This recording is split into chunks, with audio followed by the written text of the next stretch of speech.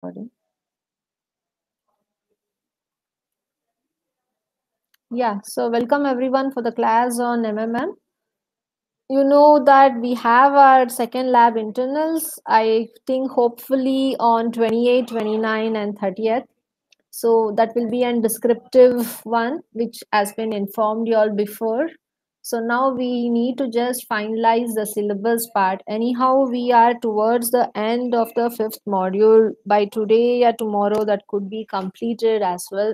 So what do you think the syllabus, whether it is okay if I give with three, four, five, or third and fourth module will be convenient. So how do you need the syllabus for your subject?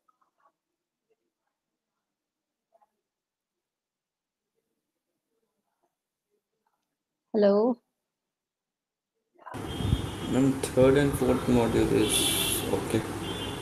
Third and fourth module will be okay. Yes, ma'am. Okay, so the fifth module will be untouched then, uh, if we won't get the third module. So that's what I was thinking about, or else I'll give some questions on the fifth module, what you have to submit as a part of your assignment. That will be fine.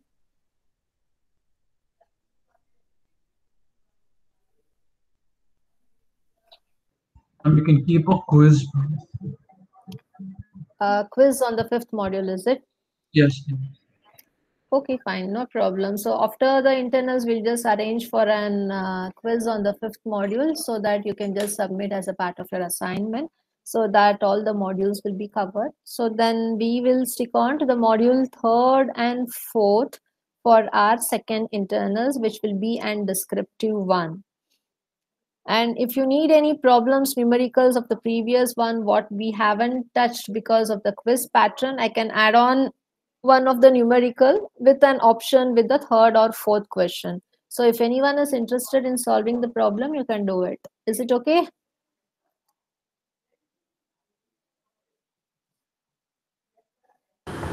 Yes, ma'am. Okay, okay. And uh, Mr. Tarun, you are here. Yes, ma'am. Yeah, did you speak to Smar uh, Smaran that day?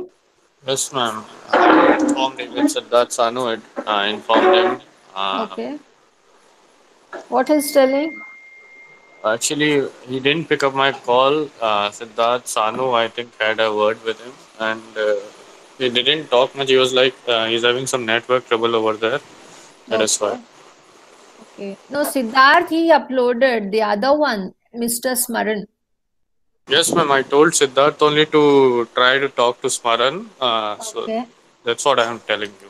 Yeah, yeah. That's Okay, yes. okay, okay, okay. Because I asked him to call also, he didn't turn up, or else it will be like uh, mark zero for his quiz, which should not happen because he has attended the first time. The next week quiz link, what we have sent, he hasn't submitted. So, by any way, anyone else, if you are able to communicate to Mr. Smaran, just ask him to call me up. Okay. So I will just uh, start up with the work.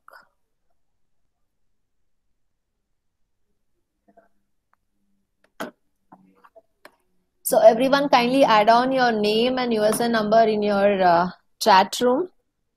Those who haven't joined yet, kindly do join immediately. It is 10 minutes over already. I'll just share.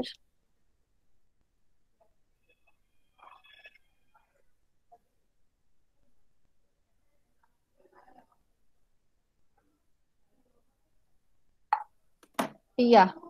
So welcome back. So let us start up with uh, our subject related to the last module. We were dealing about the temperature measurements in the last class. So let me share the screen for you all. Just two minutes.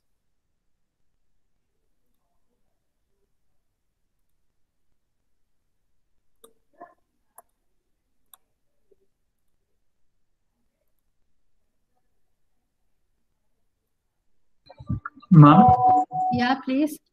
in the internals, in the second internals, we won't have any sub questions. No? Oh, actually, they have told like it is like a pattern of examination where you'll be having around eight and you will answer five. Yes, ma'am. But in the uh, In the email that they shared with us, they told that there won't be any sub questions. That's what they won't be any. That's what they won't be any sub questions. They are telling it is like uh, one full question what you have to answer. So suppose if I give you eight questions, so you'll be answering five out of it, and in each question like five A, five B, one A, one B, that you won't be having. Okay. Okay. Okay, got Thank it? you. Yeah, Yes. yeah.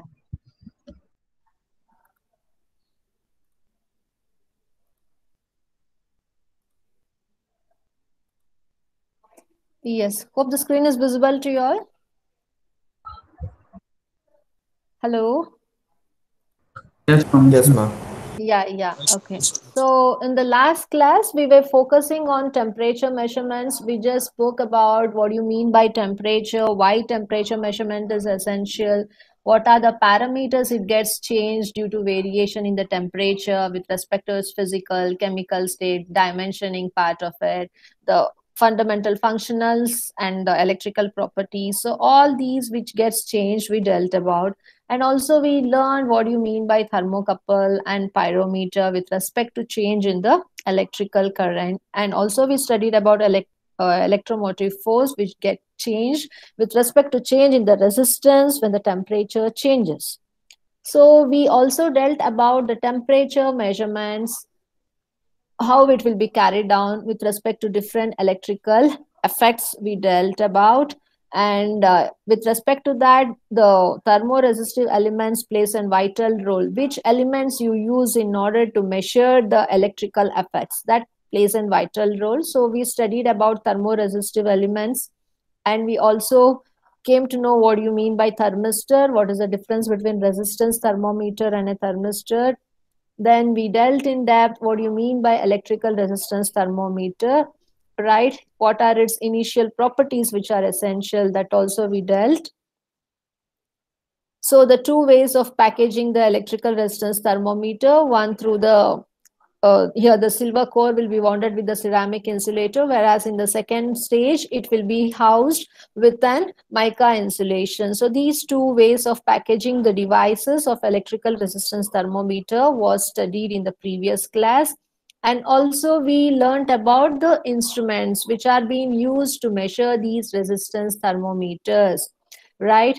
Uh, and these are the instruments what we are using one and two. So after that always i told you that these resistance thermometers will be connected to the lead wires. So whenever you have lead wires there will be possibilities of error in measurement of the electrical current okay so how we will overcome this lead resistance error? So that also we learned with respect to all the three methods siemens method and Callendar's four lead arrangement method and floating potential arrangement method also we studied in detail how we can overcome the compensation which are associated with respect to the lead resistance error so any bridge we use, either the Wheatstone or resistance bridge, always we need to connect using the lead wire. So whenever we connect using the lead wire, error always comes into the picture. So how these errors could be overcome? So for that, we had explained the three methods of compensation. So the, okay, so until here we had completed the compensation of the lead resistance error. So next you should know some effects which comes into the picture when you use an thermoelectric circuit. So you need a circuit always to connect the measuring instrument so that you can realize what is the output you are getting. So when you use a thermoelectric circuit, many effects comes into picture. One is the Seebeck effect, the Peltier effect, the Thomson effect. So these are the three effects which comes into picture. So you have to understand what are these three effects basically which comes into picture when you measure the electromotive force EMF through an given circuit system. So it now we are speaking about thermoelectric circuit. So here if you can see when you have two dissimilar metals. So this is one metal one metal one and metal two. So these are two different metals. So if in case these are joined as shown in the figure, what happens is an EMF will be induced, which is called as electromotive force. So this will exist between the points A and B. and this is primarily a function of the junction temperature so you connect metal 1 which is of different uh, metal metal 2 is of different both are connected across the junction okay so uh, what happens is when you connect two different metals across a particular junction then an emf is induced between these two points a and b. So this will be connected to an external circuit. Okay so this will be housed in an external circuit chamber. And as a result electromotive force will be induced so electromotive force induced when you connect two different metals together then the effect is called to be as our seebeck effect. If you are connecting similar metal then that is of different nature. Whenever you connect two different metals across a junction always a emf will be induced. So this emf induced due to two dissimilar metal combination is called to be as seebeck effect electromotive force will be induced in different categories based on which type of metal you are connecting. So whenever you use two different metals to connect in a common junction the emf which has been induced is called to be as our seebeck effect. So if anyone ask you to describe Seebeck effect or if it has been told Seebeck effect, then you should realize that it is the EMF induced when you have the combination of two met different metals together, which is connected to an external circuitry board. So where it has been connected, to which circuit it has been connected, there the EMF will be induced. So this external circuit will be nothing but our thermoelectric circuit. Similarly, you should know what you mean by Peltier effect. So if two metals are connected to an external circuit in such a way that a current is drawn. So when you connect, it is not on dissimilar metals. You have two similar metals connected to an external circuit in such a way that the current is drawn. So you'll connect in such a way that current could be drawn. So you can take the same example. Suppose you have uh, metal 1 of same material, metal 2 of same material. If it is connected to an external circuitry board and the current is made to pass through it, means the current is drawn, then the EMF which will be induced is called to be as our Peltier effect. And you have one more effect which is called to be as Thomson effect. So what do you mean by here Thomson effect? If a temperature gradient exists along either or both of the metal, then the EMF may undergo an additional slight alteration. So this is called as an Thomson effect. What happens is if you have a gradient, if you have a temperature variation which exists either in both the metals or in a single metal, then obviously at the junction there'll be change in the emf and the change in the emf could be slightly altered. So it could be increased or decreased based on the gradient of the temperature variation. So this effect in emf is called to be as our thomson effect so you can just take an example if you have metal 1 and metal 2 and if you have the variation in the temperature gradient, it is not uniformly temperature maintained. So you have different temperature for metal 1 and metal 2. So there'll be variation in the gradient of the temperature being moved across the junction. And as a result, there'll be change in the EMF also. So this change in the EMF due to the temperature gradient variation in metal 1 and metal 2 is called to be as our Thomson effect. So always when you analyze a thermoelectric circuit, you should keep in mind that three kinds of EMF can come into the picture. So one EMF which is induced might be due to the Seebeck effect and the other one might be the Peltier effect and the third one could be the Thomson effect. So Seebeck EMF will be induced whenever you have the connectivity of the metals, whenever you have the connectivity of dissimilar metals. So always across the junction, this effect will be shown. So you should specify like it is caused by the junction of dissimilar metals. And the second type is the Peltier EMF which is being induced. Why? Because due to the flow of current in the given circuit.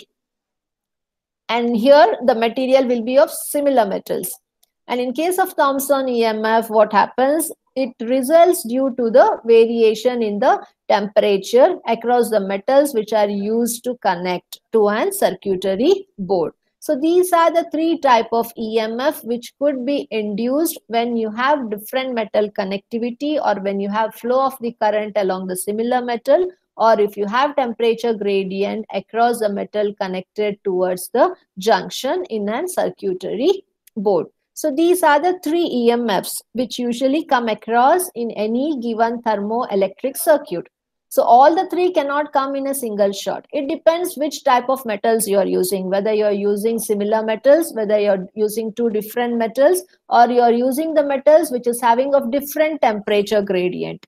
Then also you will get different type of EMF which has been induced. So you should be aware of all these terminologies.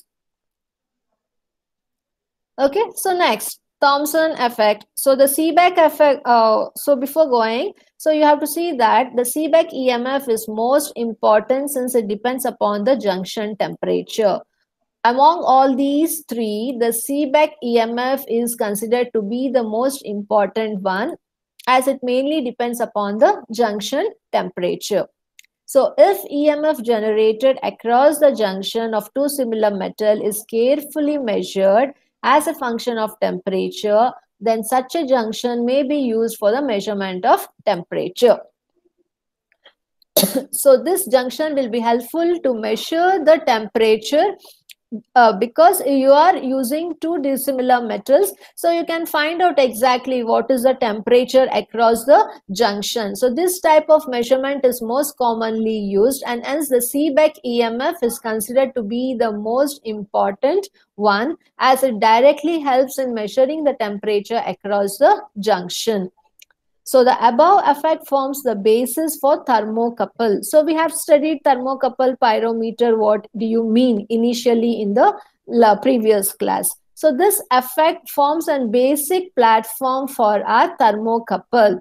So which is used mainly to measure the temperature of an given element always it is helpful to measure the temperature of a given element. For that we should know which type of instrument we use. We use thermocouple instrument. So thermocouple instrument uses the same effect here which is of Seebeck EMF concept. Because you'll be having two unknown uh, you'll be having the metals of dissimilar metals whose temperature has to be determined. So this type of Seebeck EMF will be more suitable for measuring the unknown temperature by using the instrument thermocouple. So you should go in depth what do you mean by thermocouple.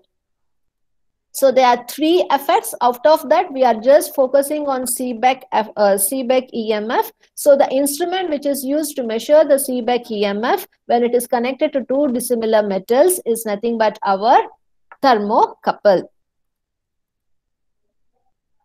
So we'll go in depth. So what happens in case of thermocouple? So I told you already in thermocouple, you'll be having two dissimilar metals which are joined together. And as a result, the EMF exists, which is a function of several factors, including the temperature. So when you have two dissimilar metals connected across the junction, you will be having the variation due to many factors in that temperature is 1.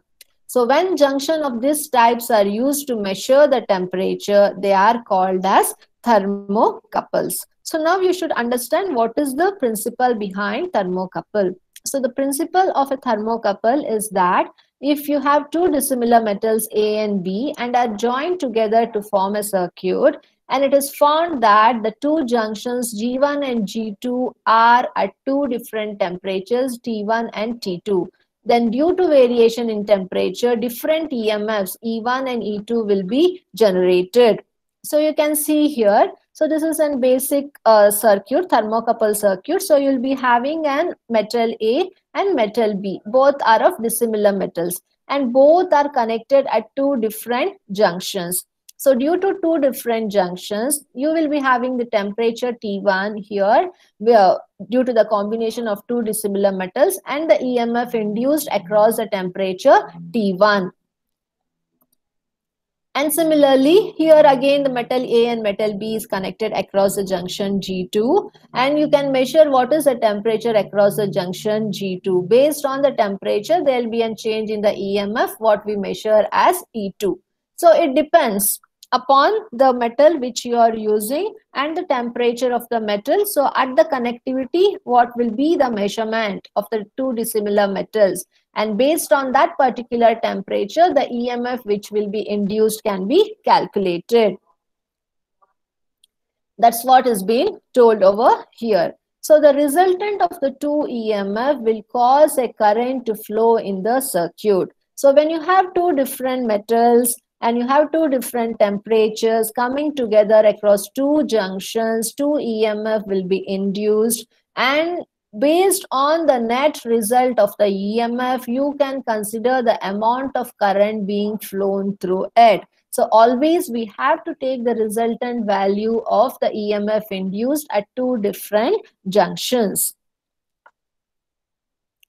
So that will be equal to the amount of uh, current that could be flown in the circuit. So if the temperatures T1 and T2 are equal, the two EMFs will be equal but in opposite sign. And as a result, there will be no flow of current. This also you should understand. You cannot have the temperature similar Okay, so if you have the temperature of both the dissimilar metals across the junction T1 and T2, there will be EMF induced, but it will be of opposite sign. So due to of opposite sign EMF induced, it get cancelled and it won't allow the current to pass through and as a result you have to see that the temperature T1 and T2 across the two junctions will not be same at any cost or else it gets nullified and there will be no flow of electrical current through this thermocouple circuit. So this thing you have to understand. So the net EMF is a function of two materials used to form a circuit. So it also depends mainly upon which material you are using okay? And the temperature of the two junctions also plays an vital role. The actual relation however are empirical and temperature emf data must be based on experiment. So this is a general one. So the concept you have to understand how a thermocouple circuit looks like and how the temperature and the emf will be induced. What happens if the temperature remains the same when the EMF get nullified and when there will be no flow of current through the given thermocouple circuit that you should understand properly. So it is always important that the results are reproducible and therefore provide a reliable method for measuring temperature. Always you should select the instrument in such a way that it is reliable and you can reproduce the data measured so that it will be easily readable for the operator.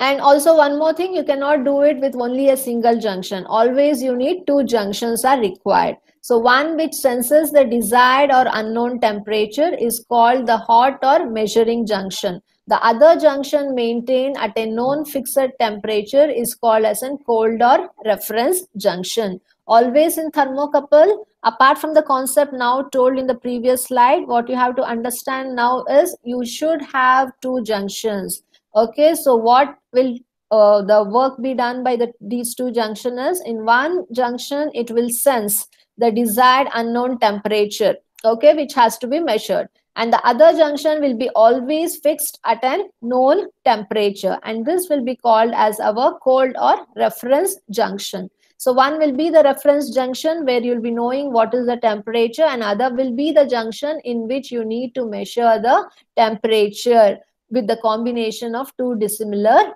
metals. And hence two junctions are a must one with the known measurement of temperature and other one with the unknown temperature which has to be measured.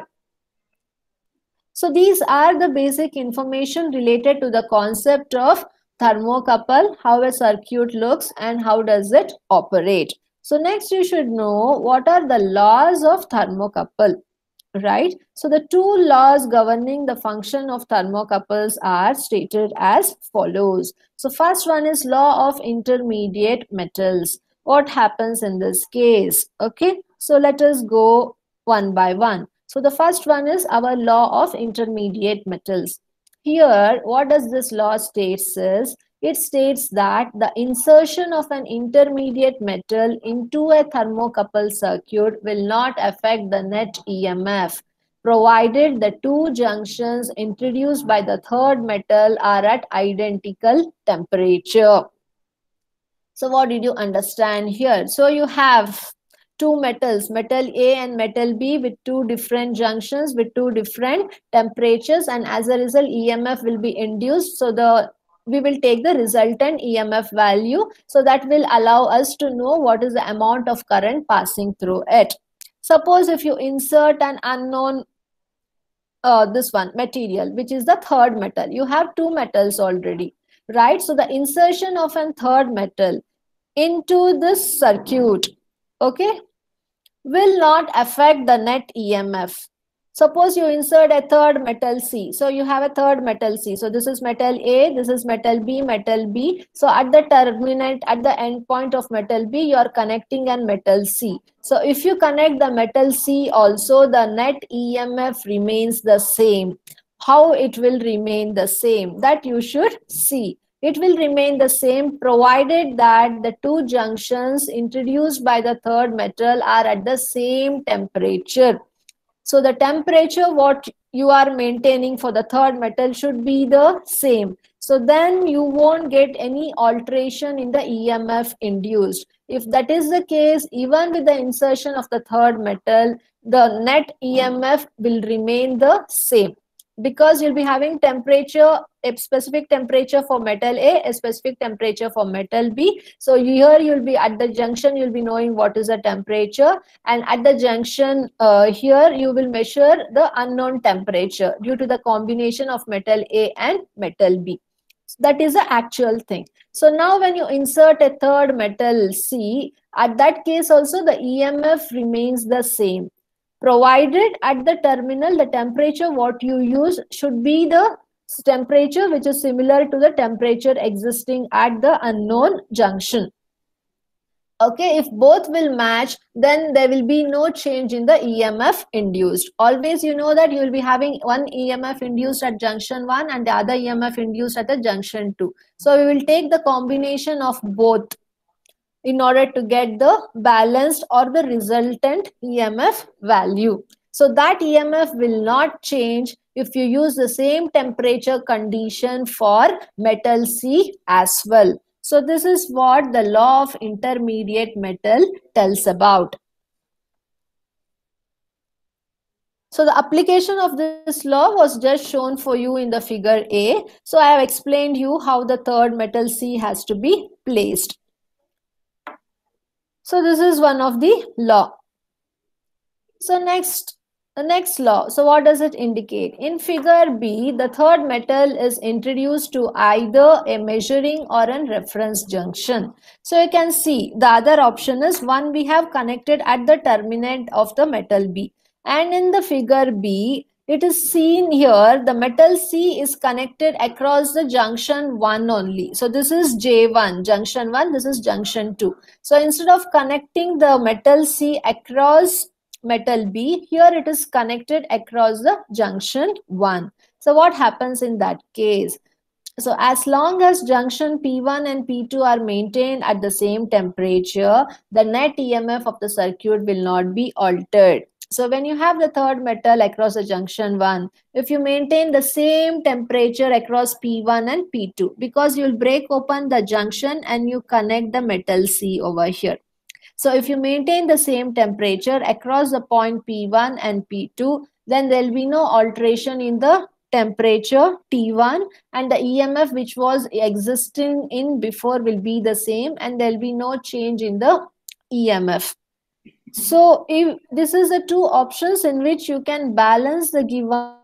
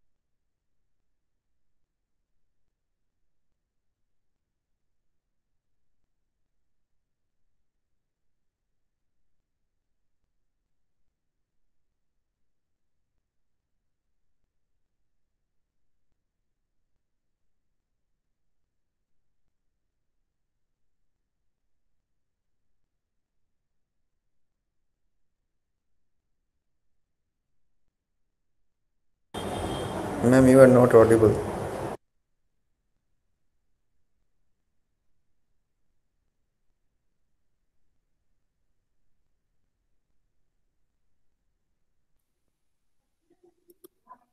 Hello? Am I audible now? Yes, ma'am. Yes, ma'am. Yeah, yeah. In previous session, I was audible, right? Yes, ma'am. Yeah, thank you.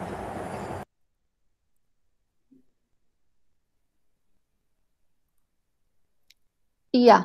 So the law of intermediate uh, metals we were dealing. So where the regular circuit, how will it look? You have understood. So now the extra metal, the metal C could be added either across the metal B or across the junction. Only thing you have to see that the temperature across the terminal where you are connecting the metal C should be the same as the temperature which is there in the thermocouple circuit. So then there will be no change in the EMF and the net EMF what we calculate will remain the same. Okay, so only the protocol is you have to see the terminals across R and C, the temperature should be the same. Across P1 and P2 where you are connecting across the junction, even the temperature should be the same. In these two cases, if you maintain a proper uniformity in the temperature, so then there'll be no change in the EMF induced and hence the net EMF remains the same. So this is about the law of intermediate metals. Okay, so now we have to consider the circuits which are illustrating the law of intermediate temperatures. So it states that if a simple thermocouple circuit develops an EMF E1 when its junctions are at temperature T1 and T2. So you can see an thermocouple circuit where you have junction TM, T1 and T2. So due to the T1 and T2 junction, it is providing us an EMF E1 across the terminal. And similarly, here you can see the temperature uh, at the junctions T2 and T3. It is providing or inducing an EMF E2. So if these two are both satisfied, so then if you have the junction of T1 and T3, then E3 induced will be equal to the sum of E1 and E2. So this is the another law of intermediate temperatures. So you understand here if a simple thermocouple circuit develops an EMF E1 when its junctions are at temperature T1 and T2 and similarly E2 is induced for the junction T2 and T3 then its junctions at temperature T2 and T3 okay this is over. When its junctions are at temperature T1 and T3, the same circuit will develop EMF E3, which will be the combination of E2 and E1. So this is the another law of intermediate temperatures. One is about balancing the EMF irrespective of adding an extra metal or an intermediate metal to it. And the third one is, and the second one is the different thermocouple circuits with respect to different temperature junctions. So you know that with respect to two junctions, one EMF will be induced. So if the difference between T1 and T2 will provide you a net EMF induced at the terminal as E1. And for T2 and T3, it will provide an EMF as a value E2. So if you clap the temperature of T1 from the one circuit and T3 of the second circuit, then the total EMF induced will be the combination of EMF which has been generated across this circuit plus the EMF which is generated across the second circuit. So this is the second law of intermediate temperature what you have to understand. And next concept is this law permits the thermocouple calibration of a given temperature to be used with any other reference temperature. So it helps in measuring an unknown temperature by using the standard temperature and it also helps in calibrating this thermocouple equipment so that you can identify how sensible it can measure the temperature. It has to be frequently calibrated. So to frequently calibrate, you should be using these concepts. So once the given thermocouple is calibrated properly, so you can use this thermocouple to measure the unknown temperature by using the standard temperature across the junction. So always I told you at the one junction, the standard known temperature will be connected and at the junction, you will keep an unknown temperature which has to be measured. That is for using thermocouple as a measuring instrument. So before using thermocouple as a measuring instrument, the given thermocouple equipment has to be calibrated. It is not only temperature measurement, either it is uh, force measurement instrument, या pressure measurement instrument, या torque, या power measurement instrument, या strain measure measuring instrument, yeah the temperature measuring instrument these has to be calibrated so in case of thermocouple for calibration we can vary the temperatures and see the emf induced and cross check when we combine t1 and t3 whether we are getting the emf values of the first and the second one so if it matches, then we can say that the instrument is calibrated properly. So it is ready to use for measuring the unknown temperatures. So this law mainly permits for doing the calibration part of an thermocouple equipment to determine the unknown values. And if any error is there, you can make suitable corrections. So this concept is very helpful in doing the calibration part of our thermocouple instrument. And one more part is if the extension wires have the same thermoelectric characteristics as those of thermocouple wires, it can be introduced in the circuit without affecting the net EMF. Sometimes I told you the given measuring instruments will be connected to the circuitry system by using some lead wires, yeah, extension wires. So the extension wires, what you use, should be having the same thermoelectric characteristics as you are using for thermocouple wires. In that case, there will be no change in the EMF induced. Okay, if it is not similar, then the amount of variation in the EMF induced will be less, yeah, more, and it shows deviation of errors. And as a result, you should see that the extension wires what we use should also be having the same thermoelectric characteristics.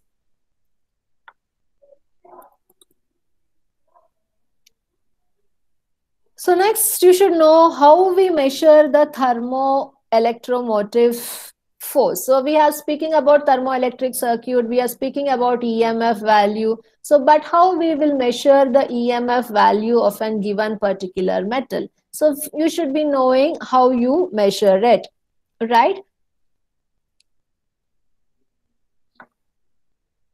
For that, first you should understand the magnitude of EMF developed by thermocouple is very small. It is in the range of 0.01 to 0.07 millivolts per degree centigrade. Okay. So when the measurement value, when the magnitude of EMF value is so small, you should need the equipment which are very sensitive to measure this least amount of values right? So it should be very sensible enough. Uh, if it is not sensible enough you cannot measure so least values here as shown. Whenever you need to measure the least value you should see that the device what you are using is very sensitive. And hence you need a very sensitive device which helps in reading the least magnitude of emf okay so just a second yeah i haven't received the link and other classes running with some other work. Uh, so next is measurement of thermocouple output may be obtained by various ways. So measurement of thermocouple output. You, you have to get the output of the thermocouple to know what is the net or the resultant emf value. So to achieve that we have different ways. The one is getting the output in millivolt or getting in terms of voltage balancing potentiometer etc so these are the various connectivities what you have to connect across the output of a thermocouple to get the desired emf value as per the requirement. If you need in millivolts or if you need in terms of voltage so as per that you have to give a connectivity to the output for thermocouple circuit. So this figure shows a simple temperature measuring system using a thermocouple as a sensing element. Okay so this is a simple temperature measuring instrument. Okay so here you have a potentiometer which has an indicator to show the reading of the emf so this is the junction g2 for our reference and this is the junction g1 this is a measuring junction so this is a standard junction. Always the temperature at t2 the junction g2 will be known and it will be fixed and the temperature at g1 will be the thing what we have to measure. And you will be having a thermometer to measure the temperature ex exactly what it is. And the potentiometer is a device which is connected at the output of the thermocouple to get the reading either in millivolts or in voltage which is the requirement by the end users. So this is how a simple measuring instrument for thermocouple looks like So the thermoelectric circuit consists of measuring junction G1 and G2 across the potentiometer. So G2 is an, a junction where the known temperature will be there. So by the law of intermediate metals, the potentiometer box may be considered to be as an intermediate conductor. So I have explained you what you mean by law of intermediate metals. So based on law of intermediate metals, the EMF induced will be shown in the potentiometer okay so that will be displayed in the potentiometer indicator. So assuming the two potentiometer terminals to be at identical temperature the reference junction can be formed by the end of thermocouple.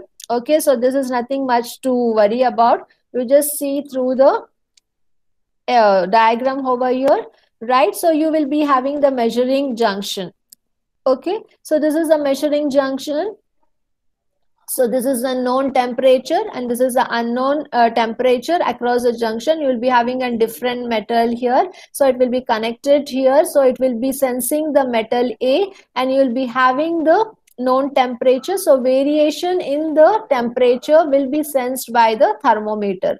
So that is connected to the output device potentiometer. So which will sense and tell you the variation in the EMF which has been developed in this thermocouple circuit will be readed in the form of voltage or millivolts as per the requirement. So this is how it looks like. So you have to come to know what are the advantages and the disadvantages. Okay. So advantages mainly are thermocouples are cheaper than that of resistance thermometers. In the last class, we studied about the resistance thermometers. But these thermocouples are comparatively cheaper than resistance thermometers. So thermocouple follow the temperature range with small time lag, thus suitable for recording rapidly changing temperatures. One plus point is you have to understand this thermocouple follow the temperature changes very systematically even in very small period of time. Any small deviation in temperature for a second also could be sensed because thermocouple are very sensitive in nature. And as a result this is more suitable for for recording large variation in the temperatures. There will be some metals where the temperature change will vary very less along a prolonged period of time. But there will be two metals which you are connecting together across some junctions. So the variation the sudden variation which is coming out very rapidly continuously every second it is changing. So for that type it is very much suitable because these thermocouples are very much sensitive in measuring even a small variation in time for a small second also. So and that too for continuous uh, purpose you can use this. For recording rapid changes across the any time duration for a prolonged period of time. So this is very good advantage of thermocouple in comparison to resistance thermometer. It is not so much sensitive to sense very small deviations whereas thermocouple has the capability and third one is they are convenient for measuring the temperature at particular point. If you need to know the temperature at a particular point, you can identify what is its value immediately because it gives the time for it gives the measurement of the temperature for each and every second so you can identify what is the value at that particular temperature at that particular point or time whatever it is Along with that, you should know what are the disadvantages. So the first disadvantage is possibility of inaccuracy due to changes in the reference junction temperature. So inaccuracy can come into picture. Why? Because due to the change in the reference junction temperature. So if you change the reference junction temperature, you won't yield with a good result. So it results in variation in the accuracy because you do the calibration across a particular junction G1 and G2. And suppose in between, if you interchange G1 and G2 and you take the readings, you won't get the accurate one. So there will be variation and deviation due to change in the reference junction temperometer right? And hence they cannot be used in precision work. So where you get the where you need the precise results. So there you cannot go up with this type of instruments because you cannot rely on this equipment to get the similar amount of results. So suppose if you measure if you use an instrument to measure the temperature for the same material five times it has to show the same temperature. If it shows different values for the same material then you cannot use that for an precise value, right? Why? It shows that the equipment is not accurate. When the equipment will not be accurate, when the given instrument is not calibrated. So when the given instrument cannot be calibrated, it cannot be calibrated if you are varying the junction point frequently. Okay, so these are all interrelated to each other. So what you have to keep it in mind. So always if you change in referring junction, then it results in inaccuracy. And due to inaccuracy, you cannot use this instrument where you need precise amount of results. The second disadvantage is for long time, they should be protected to prevent contamination and have to be chemically inert and vacuum tight for a long period of time if you need to use the instrument it has to be protected from external contamination. It should not be corroded. It should not be catch to moisture or any other external environment contamination. It should be protected from external environment totally. And it has to be kept in inert atmosphere and it should be vacuum tight. You're not focusing that to the open atmosphere. You're restricting itself to the vacuum tight chamber with a chemically inert environment and preventing that from external environment totally so that it won't be contaminated. Then only you can use the thermocouple for a longer period of time. So this is one of the disadvantages because you need to check this very uh, regularly and maintain as per the requirement. Or else you can't get an uh, good amount of results by using the thermocouple right? So this is one of the major disadvantage one has to think about. So next one is when thermocouples are placed far from measuring system connections are made by extension wires. It won't happen always. You have the thermocouple uh, where uh, you have the thermocouple placed very near to the measuring system. Sometimes it is placed very far away. Then you need the extension wires. So when you use the extension wires, you have to see that the thermo characteristics of extension wires is similar to the characteristics of the thermocouple. Then there'll be no change in the EMF. You'll get the actual resultant EMF value. If that is not the case, then it helps in getting unbalanced EMF values due to the errors associated in the extension wires. So this is one of the drawback. So maximum accuracy is obtained only when compensating wires are of the same material. That's what I told you. The compensating materials are the extension wires what you are using should be of the same material as that of the thermocouple. In that case, the circuit becomes complex. So this is one of the other disadvantage. Just a second. Hello, sir. Sir ನಂದು course M M ಎಮ್ದಿದೆ ಈಗ ಕ್ಲಾಸಲ್ಲಿ ಇದ್ದೀನಿ so that was been taken by ನಿತ್ಯ in the last session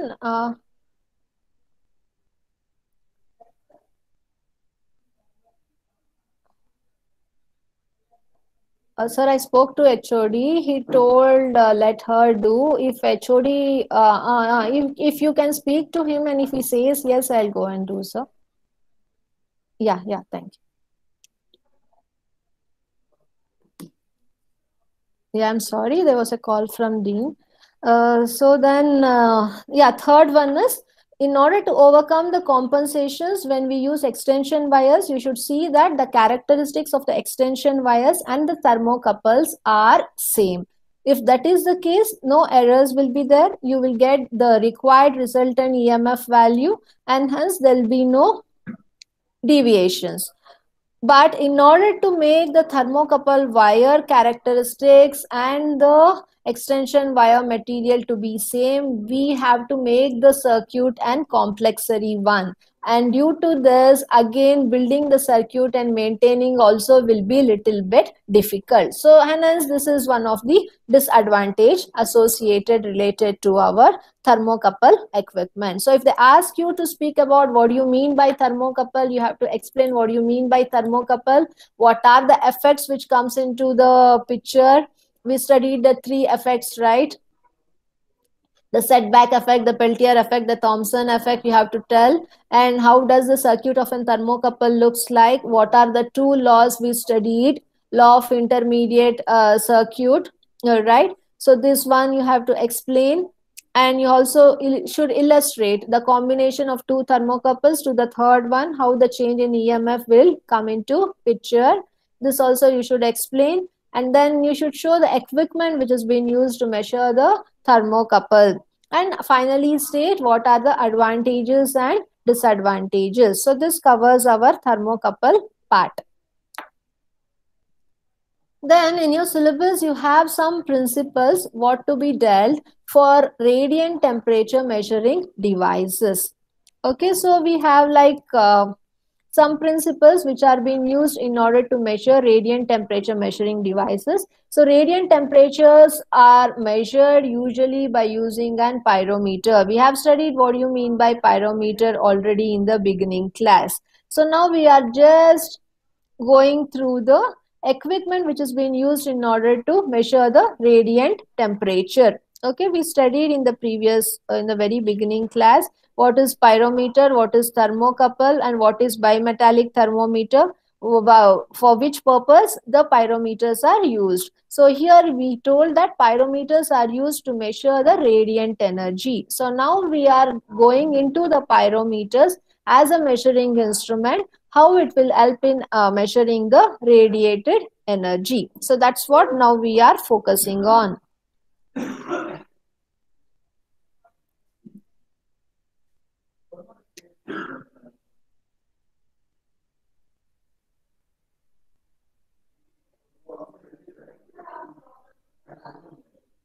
Okay, so in order to understand that, first you should know the principles which are behind measuring the radiant temperature of any device. So the first one is total radiation pyrometry. So what happens in this case?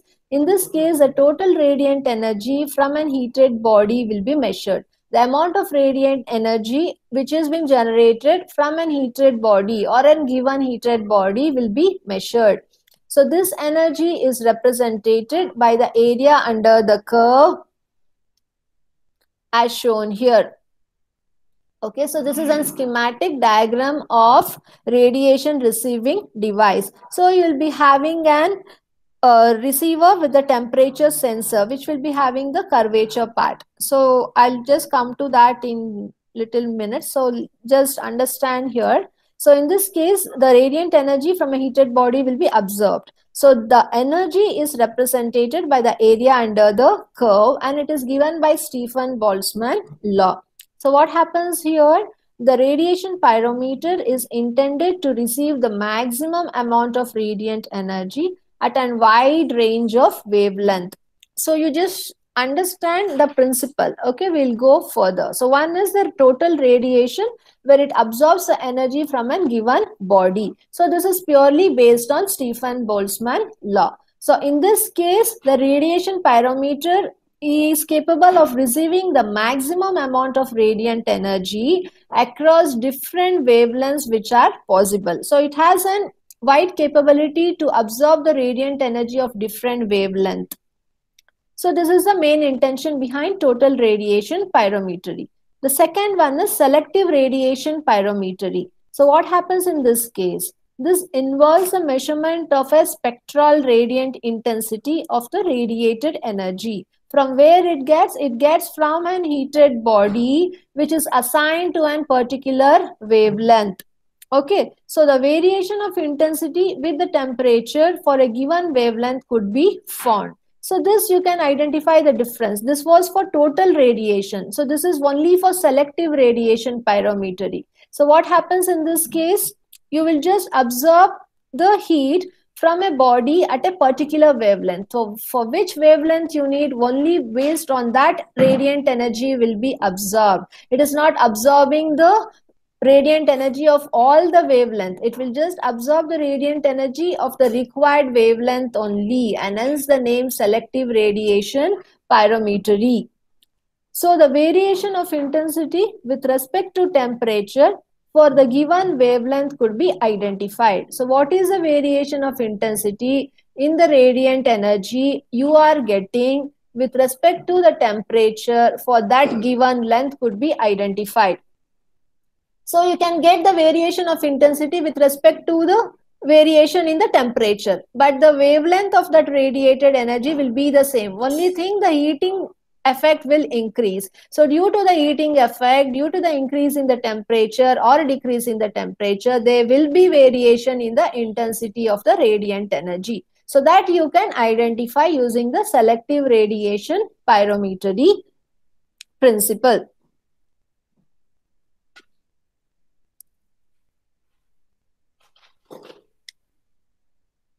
Okay, so next is total, the third one. The first one is uh, first one is total and the second one is selective radiation pyrometry. So these are the two principles which are used in measuring radiation temperature. This is the concept. So now we will go in depth related to total radiation pyrometer. I think the time is up. Can i complete this? Okay fine. I'll do this in the next class. No problem Okay, so we will do this in the next uh, class from uh, total radiation pyrometer. We have an uh, equipment, what we have to focus on, how it is helpful in absorbing the radiation and the total amount of uh, radiation energy of all the variants of the wavelength is absorbed. So that we will take care in the next class. If anyone have not written your name and USN number in the chat room, kindly add it on.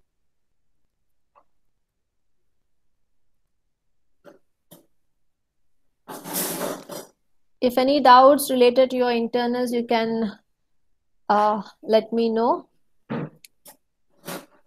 So finally, it will be third and the fourth module. And I will just assign a quiz on module five instead of providing assignments to y'all and later we can just revise the syllabus with respect to the question papers all after your internals. So by that time i will see that i'll complete it. We are almost towards the end of the fifth module. So we'll see that we will complete in uh, tomorrow's class. So that could be done.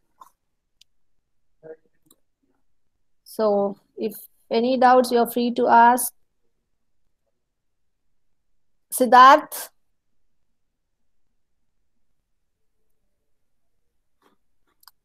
if anyone who are able to communicate to Mr. Smaran, kindly ask him to call me up.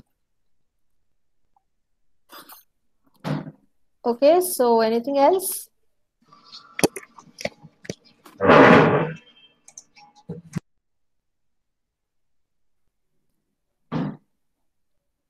Fine, then take care.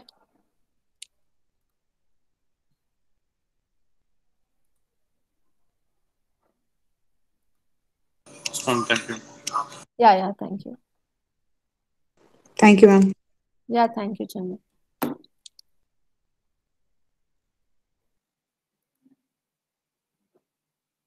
Mm.